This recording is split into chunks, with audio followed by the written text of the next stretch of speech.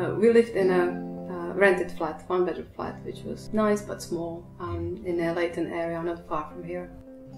I didn't actually, in the first place, go for the for the whole idea. You know, living in a foreign country, being a foreigner, start buying a place. You know, with all the all the legal stuff you need to know about it. That's why I was a bit um, standing on the back foot. And she approached me, and then she was pushing me for a few years now uh, that we should buy a place rather than just rent and throw money away every month.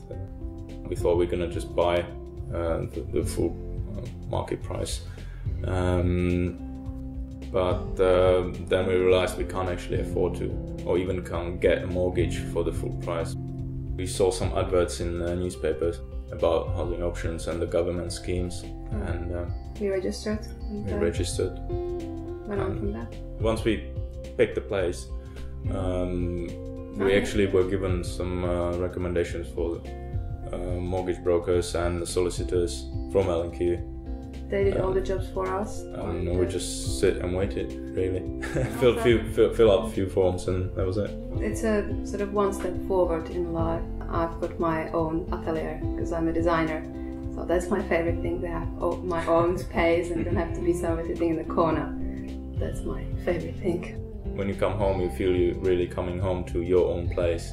Uh, nothing's gonna happen, and your landlord's not gonna come and say you have to leave next month. So secure for security, yeah, especially for future. When you retire, your income won't be that big.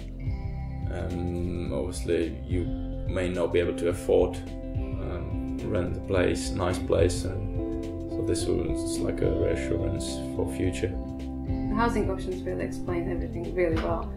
So um, we knew what's going to happen, we knew how the process is going to work. So I'm surprised at all. It was, well, I was surprised it was such a smooth process. To yeah, actually... easy. That was the surprising thing.